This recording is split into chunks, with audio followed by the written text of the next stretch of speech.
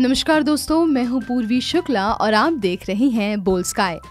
बहुत सारे ऐसे सूप हैं जो आमतौर पर ट्रेंड में नहीं हैं, क्योंकि उनके विषय में लोगों को कम जानकारी है। इसी वजह से ये सूप बाज़ार में भी उपलब्ध नहीं होते। इन्हीं सूप में से एक है कद्दू का सूप। आज इस वीडियो में हम आपको बता रहे हैं कद्दू के सूप पीने के फ़ायदे। अगर आप कद्दू के सूप का सेवन नियमित रूप से करते हैं तो आप कई तरह की बीमारियों से बच सकते हैं। तो चलिए जानते हैं, कद्दू का सूप पीने से आपको क्या फ़ायदे मिल सकते हैं। कद्दू के सूप का एक बोल हमारे दिन भर की मैग्नीशियम की आवश्यकता को पूरा करता है। ये दिल को स्वस्थ और सक्रिय रखने के लिए बहुत फ़ायदेमंद है। ये ब्लड प्रेशर को नियंत्रित करने और आघात से सुरक्षित रखने में मददगार होता है। कद्दू का रस भी सेहत के लिए बहुत फ़ायदेमंद है।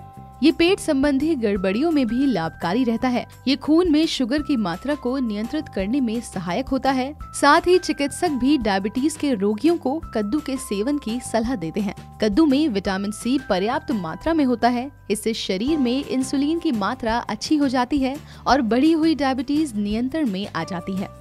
शरीर में इंसुलिन की मात्रा कम होने पर डायबिटीज़ की शिकायत हो जाती है।